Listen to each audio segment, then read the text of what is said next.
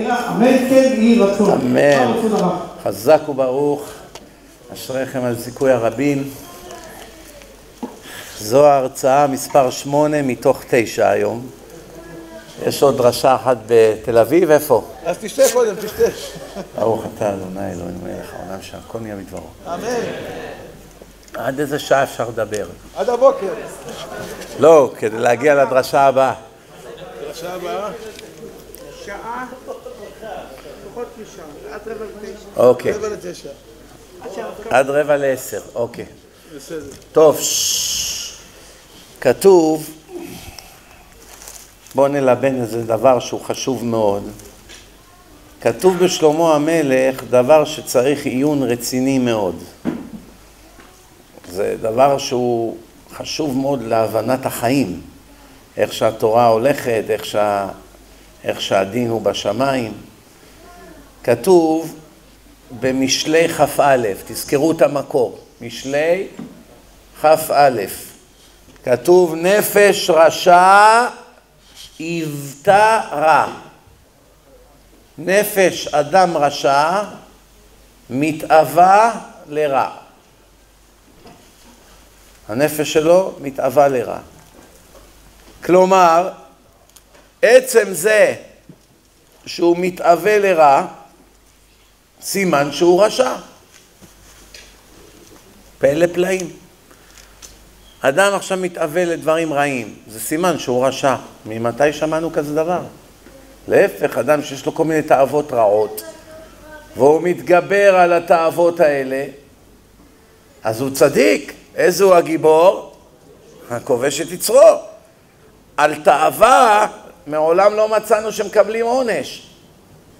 על עבירות מקבלים עונש. אדם רוצה ללכת לעשות עבירה, אני יודע שאסור. הוא מתגבר על עצמו ולא עושה.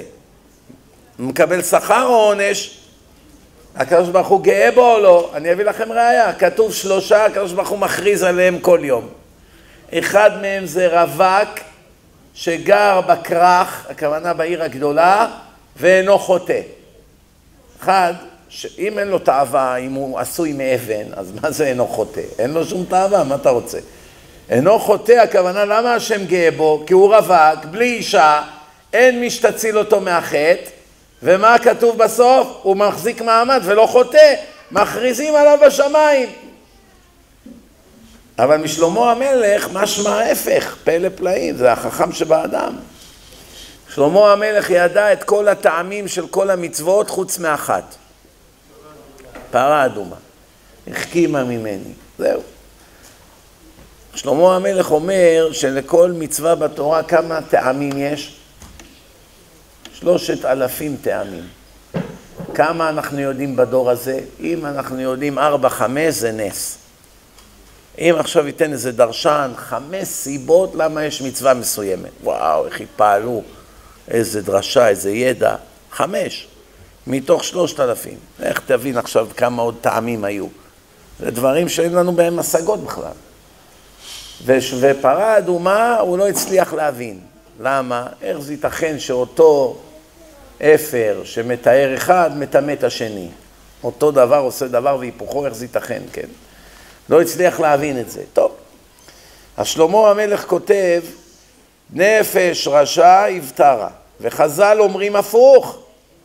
חז"ל אומרים, כל הגדול מחברו יצרו גדול ממנו. אדרבה, זה אמור להיות ככה. למה הקדוש ברוך הוא עשה שככל שתגדל בתורה, ככל שתגדל בדת, מהיום שחזרת בתשובה התחלת ברמה אפס, עלית לאחד, עלית לשתיים, עלית לשלוש, אתה הולך ומשתפר עם השנים. ככל שאתה עולה יותר בדת, ביראת שמיים, במידות, בעמל התורה וכולי, ככה היצר הרע שלך הולך וגדל. מסקנה, מסקנה, עדיף להישאר טמבל. מה אני צריך עכשיו להשכיל, ללמוד, להיות תלמיד חכם? הרי כמה שאני אלמד יותר תורה, יותר נופלים עליי יצר הרע, לא מניח לי. עדיף להישאר טמבל, להישאר ברמה א', מה איתך? הנאה הבל, עזוב אותי. היו שני חברים שני חילונים חברים, והשניים האלה היו גרים ליד בית כנסת. והבית כנסת מדי פעם היה חסר להם מניין, כמעט כל יום. אז היו דופקים להם בדלת, איציק, אבי, בואו תשלימו מניין. האיציק הזה מהיום הראשון קלט שאלה לא ייתנו לנו מנוחה. איך אומרים? אמר להם, אני לא יודע לקרוא. לא יודע לקרוא. אמרו לו, לא יודע לקרוא? טוב, מה אנחנו נעשה איתך אם אתה לא יודע לקרוא? צריכים מישהו שיתפלל איתנו. השני, איך אומרים, רצה לצאת חכם, עלה לו ביוקר. כל יום קוראים לו למניין, כמעט כל יום. לא בכלל חילוני זה. לא למדו שבשולחן ערוך כתוב שחילוני לא משלים מניין. לא למדו. מחלל שבת אינו מצטרף ששום, לשום דבר שבקדושה, זה ההלכה. יש לך תשעה איש, יש אחד מחלל שבת, צריכים להוציא ספר תורה. אם אתה מוציא ספר תורה, כל הברכות, ברכות לבטלה. יצא שכרך בהפסדך, אתה עושה עבירות, לא מצוות. תפילת נעילה, יום כיפור, אין לך מניין.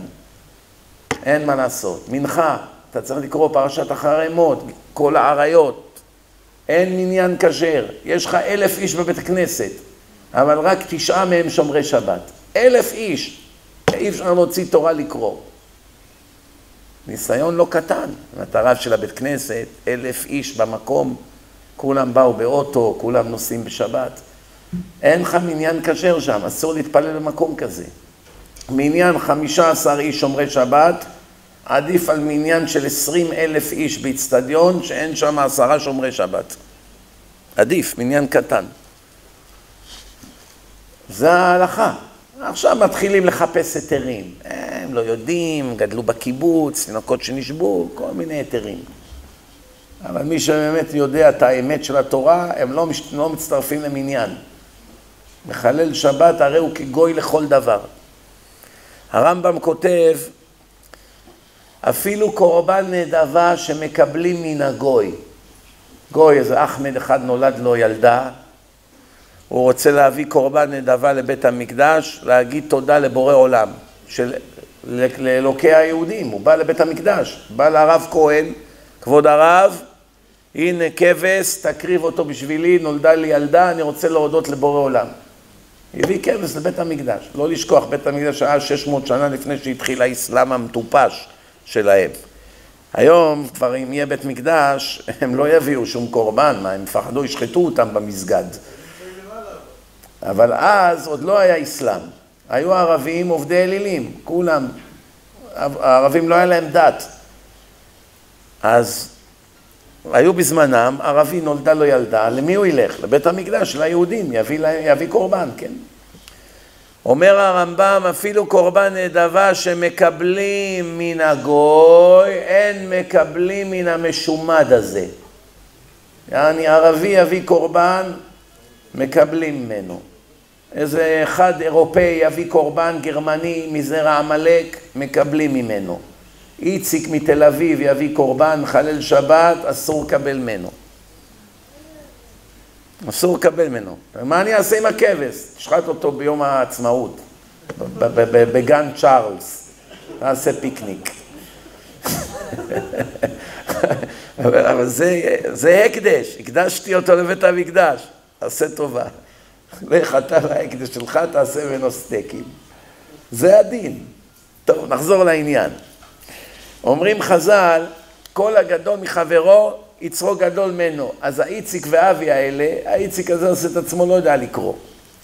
והאבי הזה, כל יום קוראים לו. לימים חלפו להם השנים, שניהם נפטרו. הייתה להם, לא עלינו, איזו תאונה, נפטרו שניהם באותו יום. עלו לשמיים, עומדים בתור לדין. עומד המלאך הממונה שם, אומר, אברהם, זה האבי הזה, אומר, אני אברהם. מעולם לא קראו לי אברהם, אבל כן, זה אני. השני, יצחק, אני זה איציק, אבל באמת לא קראו לי יצחק, אבל בסדר. עומדים לדין, מתחילים עם האיציק הזה. אדוני, אתה מעולם לא שמרת שבת ולא הנחת תפילין ולא התפללת וכולי. אומר, מה אנחנו עכשיו עומדים לשפוט אותך? אומר, אה, אני לא יודע לקרוא. חושב שזה עובד? אומרים לו, או, זה באמת בעיה, אתה לא יודע לקרוא? טוב, בסדר, אנחנו לא יודעים מה לעשות איתך, ניתן לך ויזה. הנה ויזה, נראה לך את גן עדן, נראה לך את הגיהנום, איפה שתרצה להיות, תישאר, בסדר? הוא אומר, וואלה, מקובל. מביאים את השני הזה, אבי, שהיה הולך למניינים, אבל היה מחלל שבת, איך אומרים? גמרו עליו. שחטו אותו. 500 שנה בכף הקלע. ואחר כך נתחיל לעבור במדורים, בגיהנום. אומר לו האיציק הזה לאבי הטמבל, אמרתי לך כל הזמן תגיד שאתה לא יודע לקרוא, תראה איזה פטנט, איך זה עובד. מביאים אותו עכשיו, מראים לו את הגיהנום, רואה את הגיהנום, מראים לו את הגן עדן, מסתכל מה הולך בגן עדן, מה הולך בגיהנום. אחרי שראה את הגיהנום, הוא אומר, טוב, טוב, אני חוזר לגן עדן. הוא בא לשער, רואה, החליפו את המלאך. המלאך שהכניס אותו עם הוויזה, זה לא אותו אחד, עכשיו שמו אחד אחר. הוא מראה לו את הוויזה, מראה לו את הוויזה, מה הוא אומר? אני לא יודע לקרוא. דחף אותו לכבשן מספר ארבע. אלפיים שנה פה תהיה, לא יודע לקרוא. אנשים חושבים אפשר להרים על השם. אומרים חז"ל, כל הגדול מחברו יצרו גדול ממנו. אז אחד אמר, עדיף להיות טמבל, בשביל מה להיות תלמיד חכם? כמה שאני לומד יותר, גודל גם היצר שלי בהתאם. אז אני אמרתי, שמע, אל תהיה טמבל. אדם עכשיו מצטרף למכון כושר. בשבוע הראשון, כמה נותנים לו להרים? קילו. שלא יקראו לו השרירים, קילו. מרים, קילו. אחרי חודש, ארבע קילו. עוד חודשיים, עשר קילו. עוד שישה חודשים, שלושים קילו. כעבור שנתיים, שלוש, הוא נהיה מר עולם. מרים את המשקולות האלה הגדולים. עכשיו תגיד, אם היו נותנים לו להרים כמו בשבוע הראשון, קילו כל החיים. הוא כבר עשר שנים במכון כושר, על קילו עושה ככה. משהו היה יוצא מזה? אחד מהשרירים שלו היה מתפתח? כלום, לא מרגיש כלום, מה? עושה ככה על ריק. לא היה משתפר שום דבר. לא היה משתפר. מה, מש... מתי השתפר? ככל שהוסיפו לו יותר ויותר התנגדות, ככה הוא הלך ועלה ויותר ויותר. ברגע שאתה כבר שנה במכון כושר, מה ייתנו לך? את מה שנתנו לך לפני שנה זה בדיחה. אין שום הישג, אין שום התקדמות, אין שום ניסיון. לכן ככל שאתה גודל יותר בתורה, ככה הקדוש ברוך הוא מעלה לך את רמת הניסיון. מעשה שהיה עם הרב עובדיה עליו השלום, הזמינו אותו לדבר באנגליה באיזה מקום. והוא, אז רק המציאו את השירותים האלה עם האורות שנדלקים לבד והמים נפתחים לבד, כשאתה יוצא יש קרן לייזר, הברזים. פתאום הוא קולט, עכשיו הוא נכנס דקה לפני השיעור, הוא נכנס דקה לפני השיעור לשירותים. הוא נכנס דקה לפני השיעור לשירותים בשבת. והוא שומע את הדרשן שם, הגבאי צועק, רבותיי, הזכות בידינו לשמוע את גדול הדור, הגיע מארץ הקודש לדבר ב... אצלנו וזה, ומה זה היה באיזה בית מלון, זה היה כזה שבתון. נא לקבל את גדול הדור, הרב עובדיה. כולם שם עומדים, מחכים, והוא עכשיו תקוע בשירותים. לא יכול לצאת. אם הוא ידלק האור, או יקווה האור. מה עכשיו הוא יעשה? לא יודע מה לעשות, איזה ניסיון.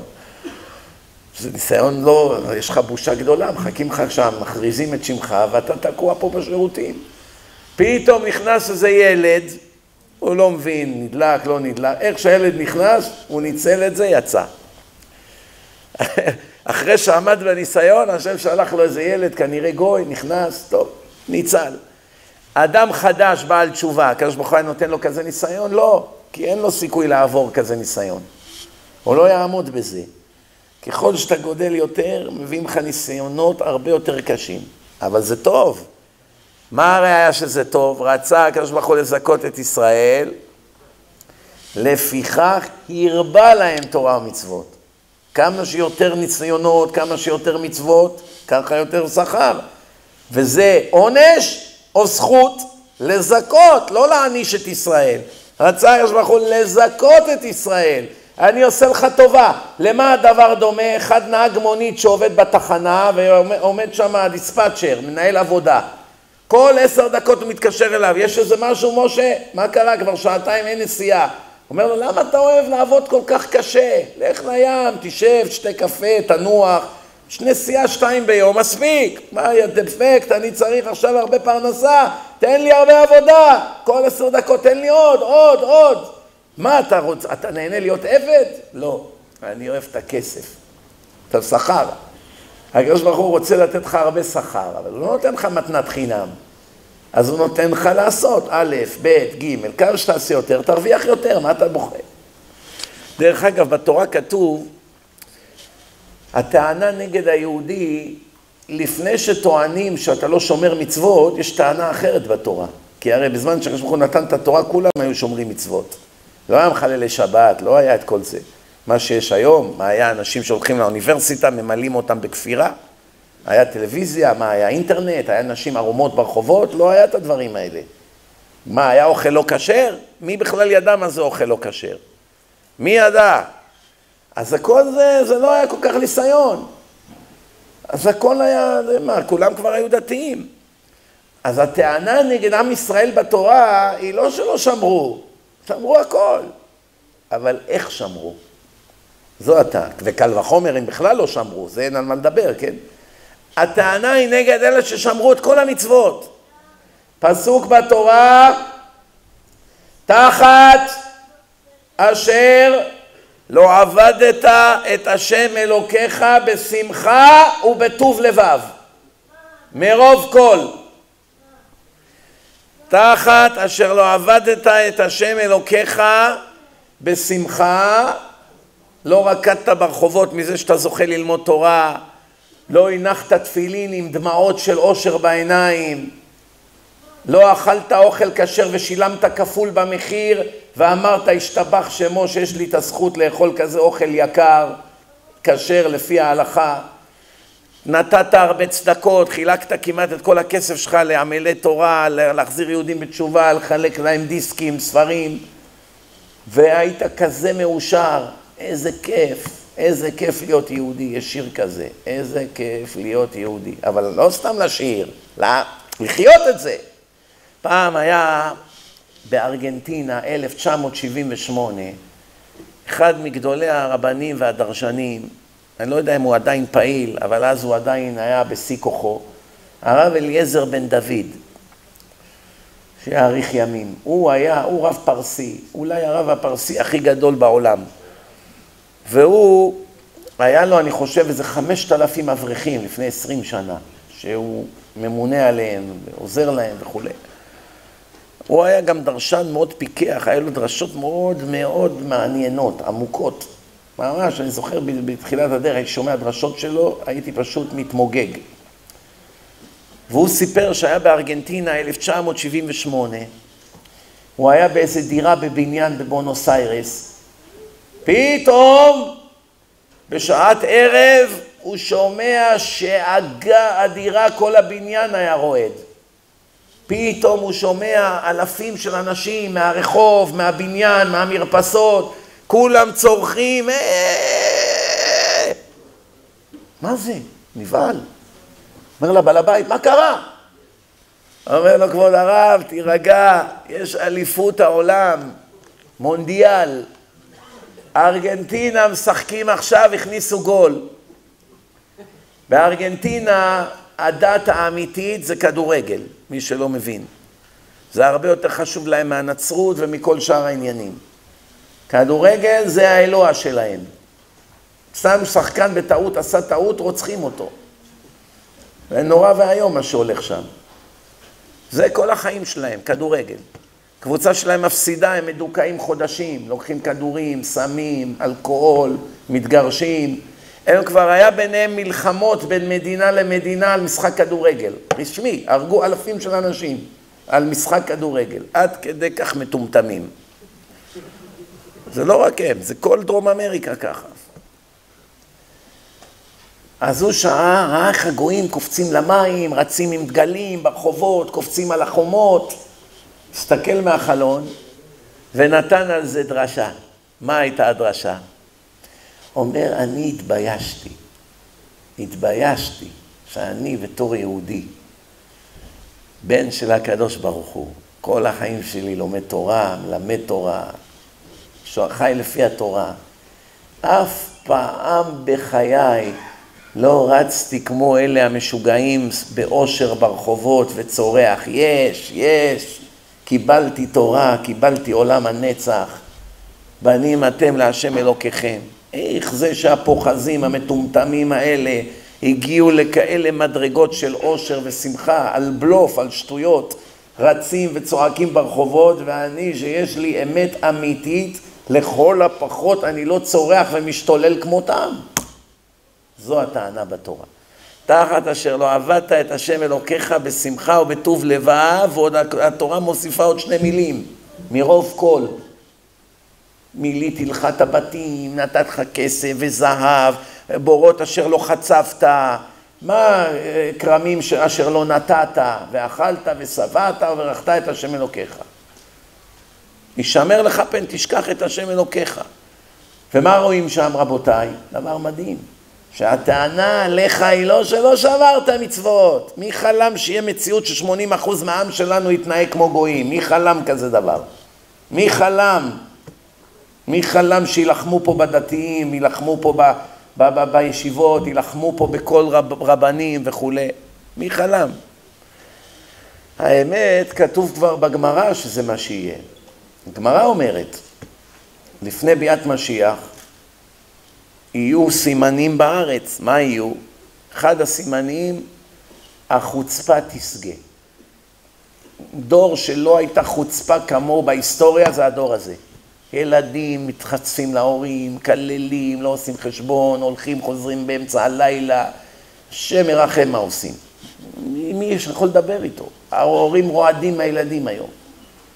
דברים שלא היו דוגמתם. קורא לאבא שלו בשם שלו, איציק, איפה המפתחות של האוטו?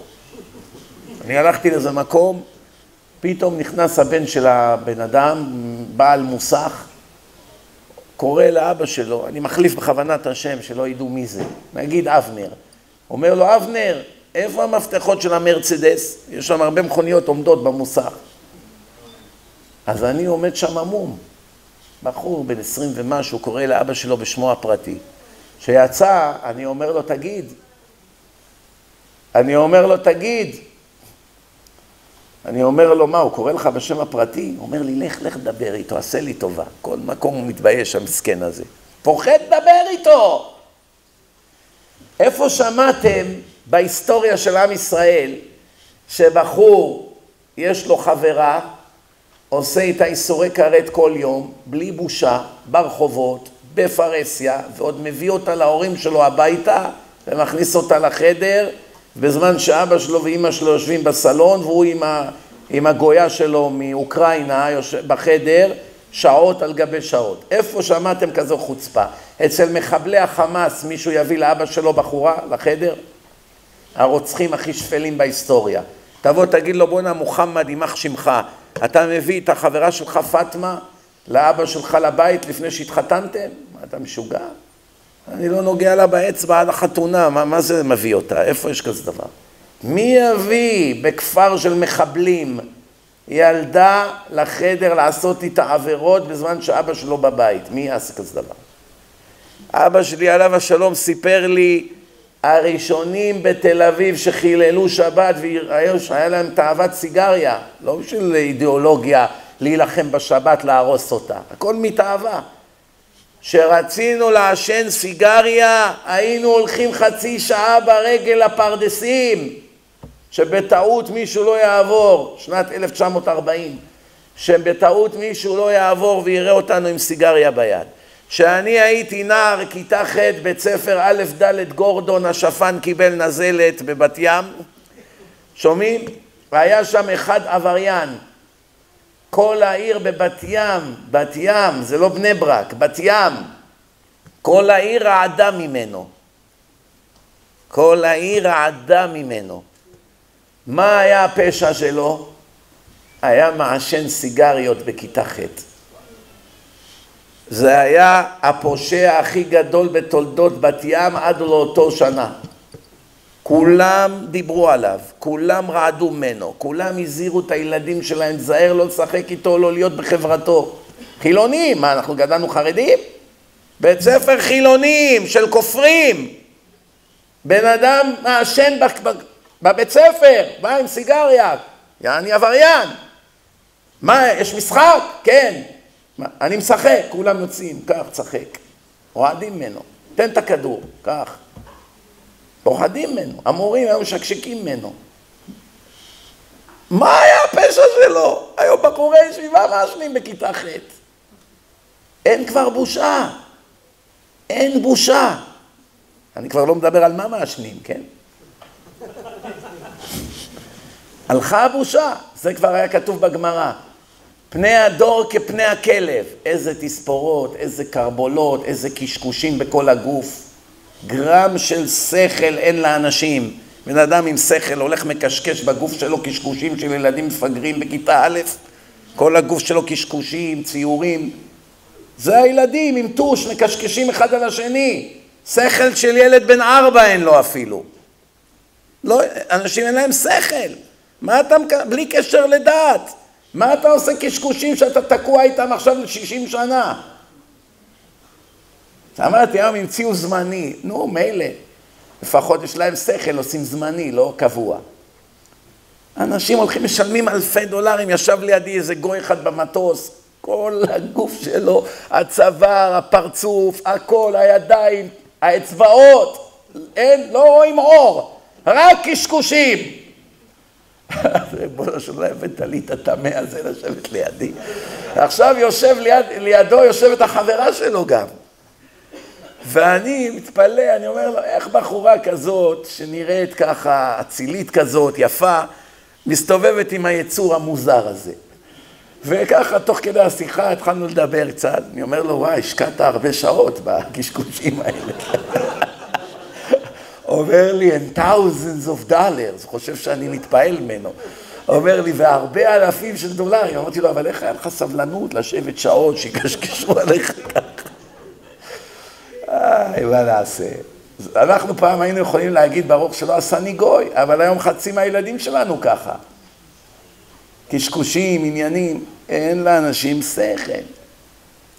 הכיר בחורה שבועיים, הולך חורט את השם שלה על הגוף שלו. הרי ברור שעוד שבועיים היא כבר תמצא מישהו אחר, תעיף אותך לפח. זה לא המקרה הראשון, כן? מה אתה הולך חורט על עצמך שמות? כל החיים שלך תהיה תקוע עם השם הזה. אלא לא חושבים, אין, אין מחשבה. אחד הסימנים שיהיה חוכמת סופרים תסרח, שונאים את הרבנים. שונאים את הרבנים. יראיך, יראי חטא ימאסו. לא סתם כל רב שונאים, יש רבנים מאוד אוהבים אותם החילונים. מי יכול להגיד לי איזה רבנים החילונים אוהבים ואיזה רבנים החילונים שונאים? מי יכול להגיד לי? נתחיל ברפורמים. רב הומו נשוי לגויה, או לגוי יותר נכון, והם מתים עליו. תנו להם את הכותל, בטח, אם הוא יהיה רב, נוכל לעשות מה שבא לנו, מצעדי תועבה, חילולי שבת, מנגל בשבת, צריכים כאלה רבנים, לא?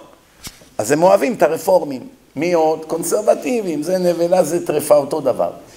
עכשיו שכבר מגיעים לרבנים שומרי מצוות, איזה רבנים הם אוהבים? את המלטפים.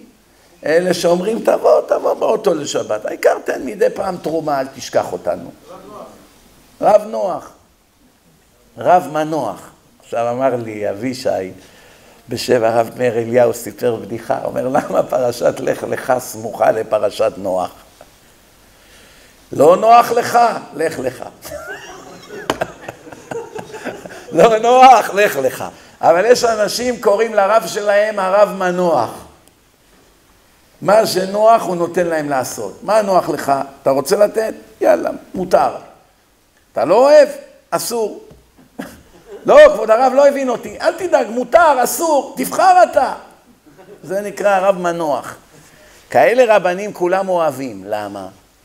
למה שלא תאהב אותו? מעולם הוא לא איים עליך, מעולם לא דיבר איתך, מעולם לא אמר לך מי אתה באמת, רק שבחים וחיבוקים וכולי. עכשיו אני שואל אתכם שאלה, מותר לתת מחמאות לאדם שהוא מחלל שבת? מחמאה אחת, מותר לתת לו?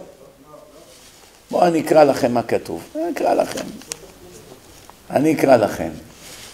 אמר רבי אלעזר, כל אדם שיש בו חנופה, שומעים? אפילו עוברים במעי עמם, עוברים עוד לפני יצאו לעולם, מקללים אותו.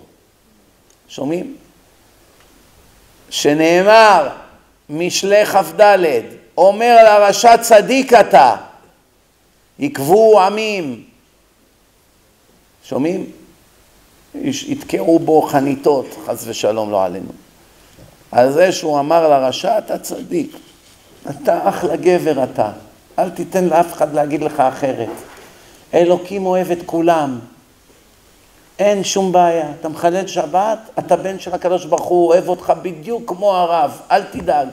מסלפים את כל התורה, את כל התורה, הכל אצלם שקרים.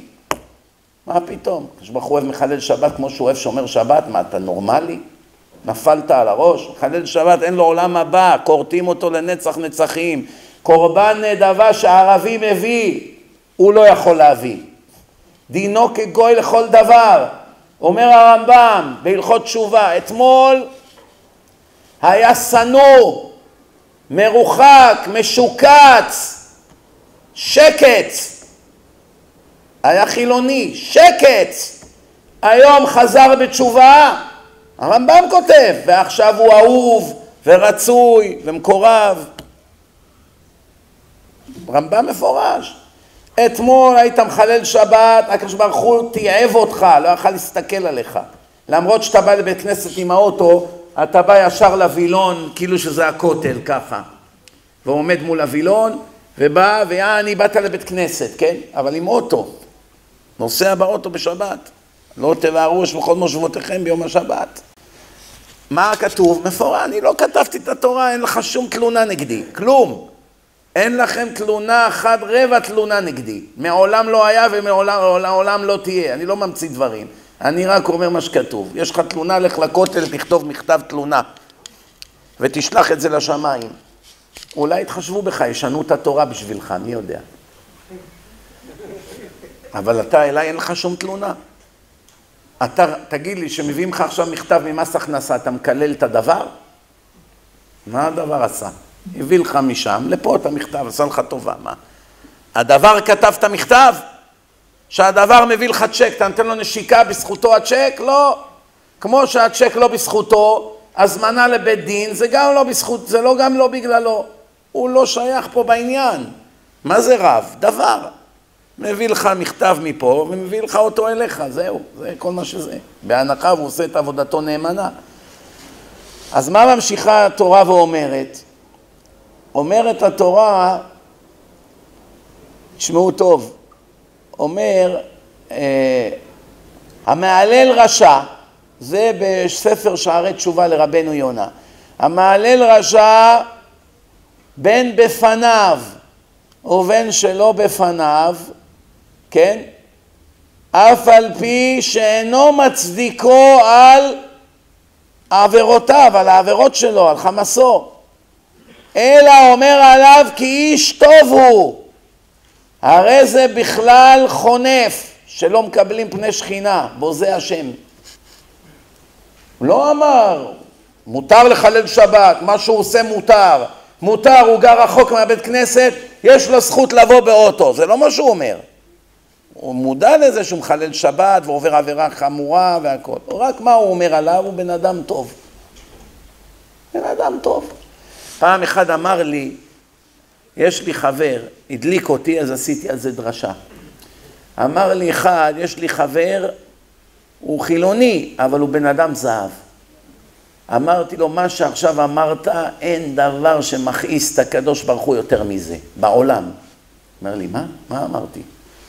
אמרתי, אתה יודע מה אתה עכשיו אמרת? אתה הבאת על עצמך זעם בשמיים שאין דוגמתו. אסור לעולם להגיד את המשפט הזה. אומר לי, למה, מה? אמרתי לו, אין כזה דבר בעולם חילוני בן אדם טוב. אין כזה דבר. ויש לי הרבה חברים חילונים. אני אומר לכם, ואני אומר להם את זה בפנים. ואין לי שום דבר אישי נגדם, לא דן אף אחד. אין כזה דבר חילוני בן אדם טוב. מי שאומר כזה דבר הוא כופר מורד בקדוש ברוך הוא. ואני אוכיח לכם את זה תכף. אל תכעסו, תכף תסכימו איתי כולכם, מבלי יוצא מן הכלל. כולכם תסכימו איתי תכף, בעוד דקה. אני אוכיח לכם. הנה, תשמעו טוב. יש בשכונה בחור, נחמד לכולם, לשכנים, לשכנות, עוזר לזה לשטוף את האוטו, עוזר לאימא סלים, קוצץ את הדשא בהתנדבות. מה זה? כל דבר בבניין, הכל הוא הראשון לעזור. עוזר לכולם, מדבר יפה לכולם, עוזר לבעל המכולת, עוזר להוא, משהו משגע, שוטף את המדרגות, חסרים מנורות, הוא מחליף. כולם מתים עליו, איזה מענץ'. אבל מה, דעקה, אבא שלו חוזר כל יום מהעבודה, יורד מהאוטובוס, איך שאבא שלו מתקרב לדירה, זורק עליו אבנים, הוא יורק עליו, לך מפה יא כלב, יא זקן, סתלק מפה, מי אתה בכלל? אבא שלו אומר, מה אתה, למה אתה מדבר איתי ככה? אני נותן לך כסף, אוכל, מקום לישון, איך? תביא את הכסף. הולך, קונה את הכסף, קונה סכין, זורק על אבא שלו. בועט באבא שלו ברחובות. איך שמגיעה איזו שכנה, עוזב את אבא שלו, מה נשמע גברת לידיה, בואי נעזור לך עם הסלים. אבל נחמד לכל השכונה. גבר שבגברים, מתים עליו. צדיק, מה, מה זה, מה, פשי, לא היה כדוגמתו בעל חסד. ומה? השכונה, יודעים, כבר אומרים, בואנה, הבן אדם הזה, זה לא, אין דוגמתו. אבל איך שרואה את אבא שלו, ישר מורד בו. בן אדם כזה הוא בן אדם טוב או הוא חלאת המין האנושי? מה אתם אומרים? בן אדם הזה, יש שתי כפתורים, כפתור אחד בן אדם טוב, כפתור אחד חלאת המין האנושי. מי ילחץ פה על בן אדם טוב? יש כאן אחד שילחץ על בן אדם טוב שירים את היד. השכנים הם חלק מהסיפור, הם לא נחשבים. אתם פה, הקהל, שמעת עכשיו כזה סיפור, הראו לך וידאו, איך הבחור הזה מקלל את אבא שלו, מגדף אותו, לא אומר לו בחיים תודה, כל מה שאבא שלו נותן לו, הוא לוקח ומשתמש בזה נגדו. אבא שלו נתן לו את האוטו, הולך קונה סמים, עושה דברים, מפוצץ את האוטו לחתיכות. כל מה שאבא שלו אומר לו לא לעשות, מיד הולך עושה. ועוד בכסף שאבא שלו נותן לו. אבא שלו נתן לו חדר עם מיטה, מביא לשם כל מיני בחורות, או אוכל לאבא שלו את הלב. אבא שלו נותן לו כסף, אומר לו אל תקנה את האוכל הזה, רק את זה הוא קונה. כל מה שאבא שלו אמר לו לא לעשות, רק את זה הוא עושה. אבל השכונה הוא מלאך. בן אדם טוב או חלאת המין האנושי? כולם מסכימים? זה מה שנקרא בן אדם שלא שומר מצוות. הוא נחמד לכל העולם ויורק על הקדוש ברוך הוא כל דקה בחייו. מעולם לא אומר תודה, מצפצף עליו, אוכל מה שבא לו, חלל שבת, גונב, מרמה, אונס, נואף, מבזבז זרע לבטלה, לשון הרע כל היום. כל היום פוגע באנשים, הורס להם את החיים, לוקח מאנשים הלוואות, לא מחזיר, גונב, מרמה לקוחות בעסק, נותן להם סחורה פגומה. כל היום וכל החיים שלו יורק על השם בלי הפסקה. ובסוף עוד בא אחד אומר, יש לי חבר חילוני, אבל הוא בן אדם טוב. איך אתה יכול להגיד את המילה הזאת? בן אדם שמורד בבורא עולם יכול להיות בן אדם טוב, אבל הוא טוב לכל העולם, נכון? לא מכחיש. הוא טוב לשכנה ולשכן ולחברים ולהורים של אשתו. נגיד שהוא טוב, נגיד. זה לא מעלה את הרמה שלו במילימטר. עדיין הוא חלאת המין האנושי. זאת האמת הכואבת.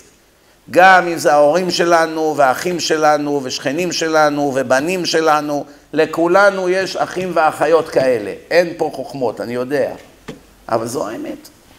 וכל אדם צריך לדעת איפה הוא מונח בשמיים. ומי שמתחנף לאנשים כאלה ואומר עליהם, זה אני קראתי לכם, אני לא המצאתי את זה, אני קראתי לכם פה משערי תשובה לרבנו יונה, 800 שנה. זה אחד מספרי המוסר החשובים ביותר שנכתבו. בן אדם שאומר כזה דבר, הרי הוא בגדר חנפן, חונף. כת חנפים אינם מקבלים פני שכינה. אני כבר לא מדבר על הרבנים האלה שעושים כל מיני סעודות ומזמינים כל מיני עשירים שהם הרשעים הכי גדולים בעולם, שזה נשוי לגויה וזה מחטיא רבים וזה בעל קבוצת כדורגל, עשרים אלף איש מחללים שבת בגללו וכל הגנבים הגדולים בבורסה ומריצים מניות ומפילים משפחות. אני כבר לא מדבר על אלה, על הרבנים האלה שמנשקים להם בפרהסיה את היד, וזה הצדיק והצדיק וההוא וזה על איזה צ'ק אלוף שנתנו לו, הוא כבר יושב ומכבד אותם בפרהסיה ועושה חילול השם, אני לא מדבר על אלה, זה אין על מה לדבר בכלל. אני רק מדבר עכשיו על אחד שעושה לו כבוד למרות שהוא יודע שהוא מורד בהשם. הוא כבר נכנס פה בקטגוריה של כת חנפנים אינם מקבלים פני שכינה. יבוא משיח, יעיף אותך מהפרצוף שלו, תעוף לי מהעיניים, כופר. מה אתה מדבר? אני שומר שבת. אני כל החיים למדתי, עשיתי, נתתי, צרמתי לישיבות. אתה חנפן שמשתחווה לרשעים, שהקדוש ברוך הוא מתעב אותם, ואתה עושה את זה בגלל התאוות האישיות שלך.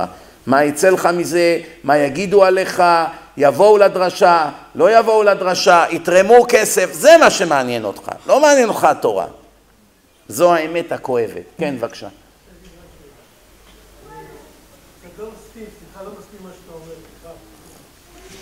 זכותך לא להסכים, רק תגיד למה. כן. כן.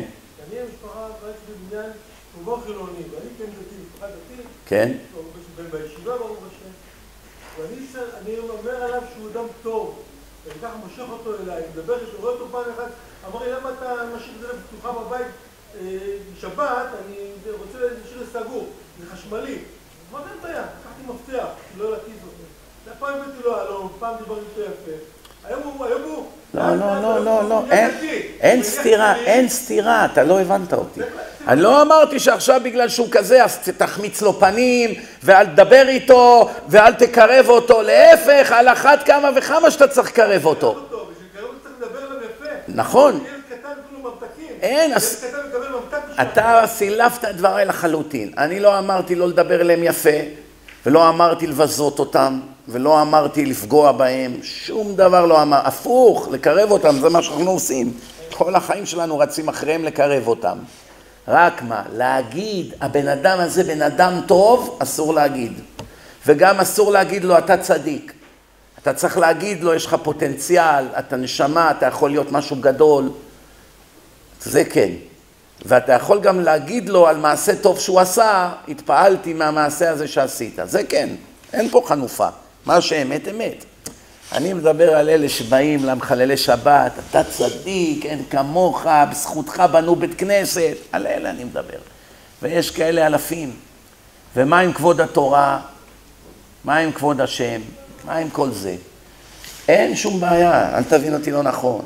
להפך, כתוב שאתה צריך להשקיע בחילוני כסף וזמן, 70 שנה כדי לקרב אחד שישמור מצוות. כבר היה שווה לך.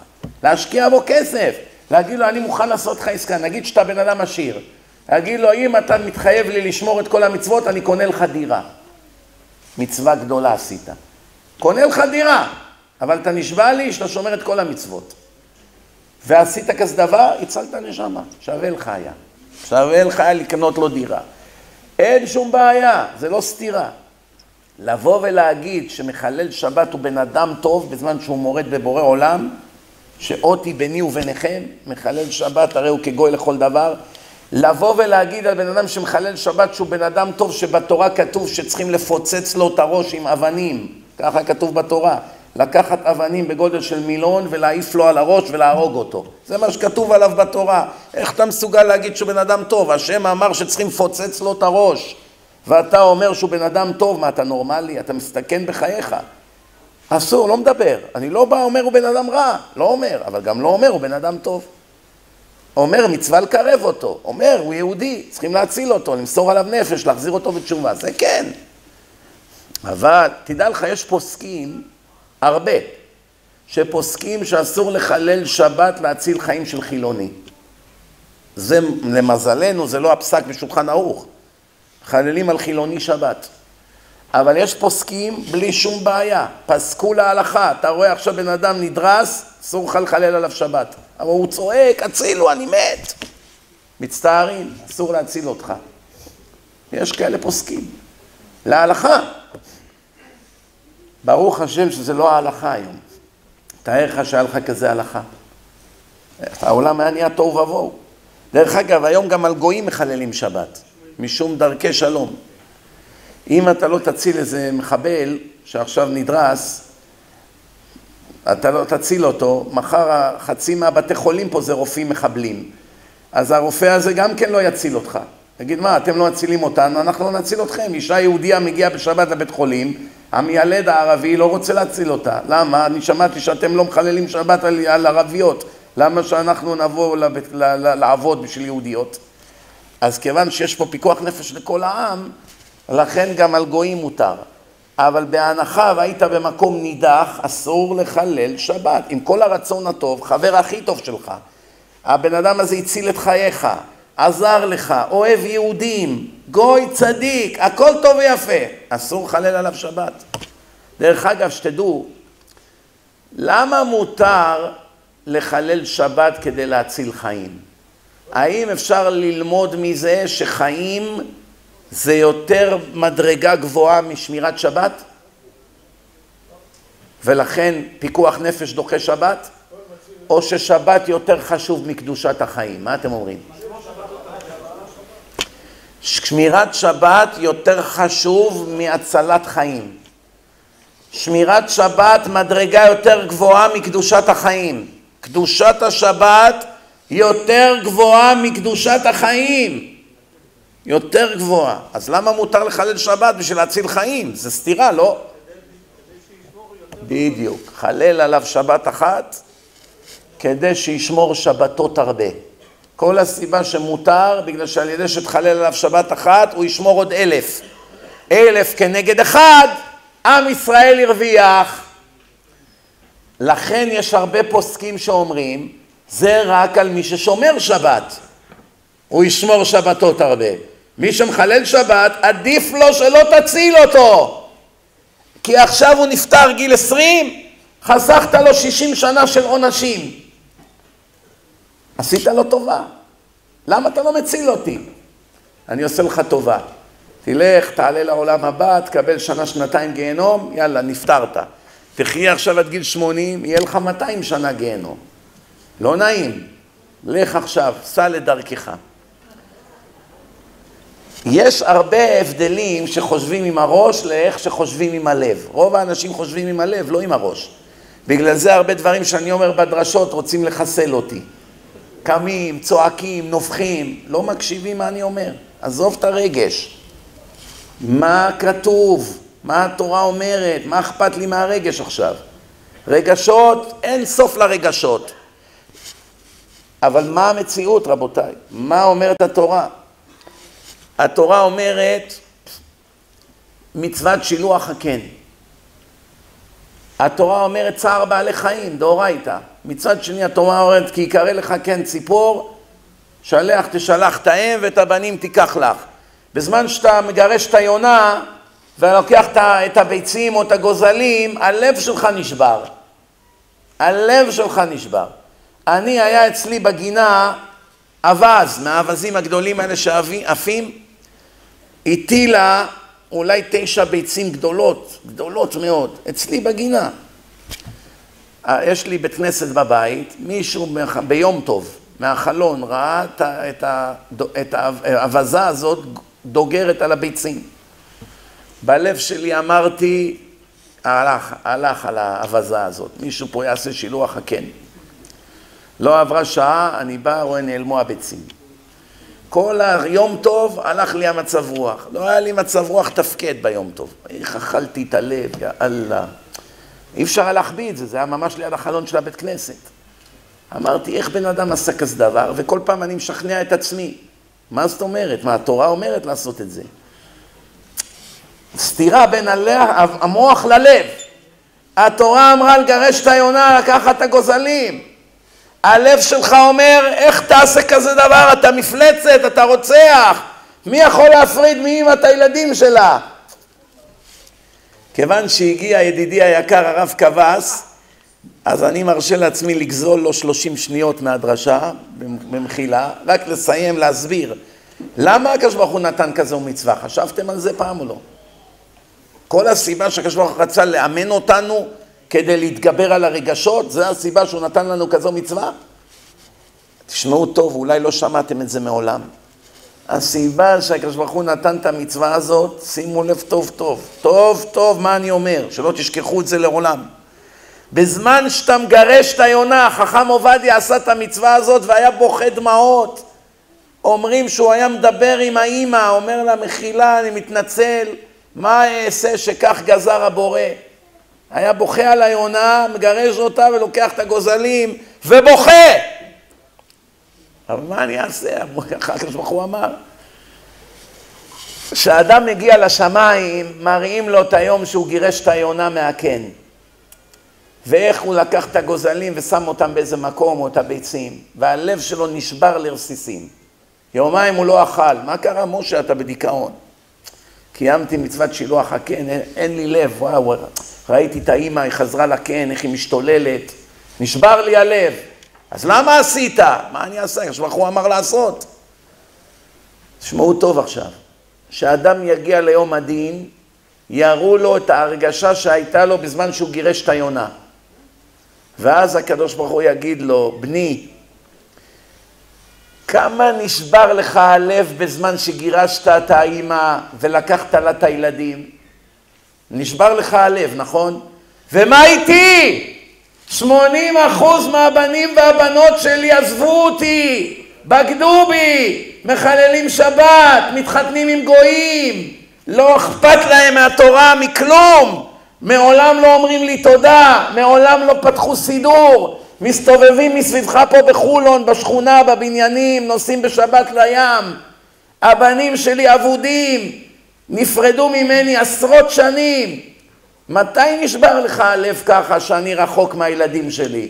למה לא רצת להחזיר אותם בתשובה? למה לא פתחת את הארנק ושפכת כסף כדי להציל אותם?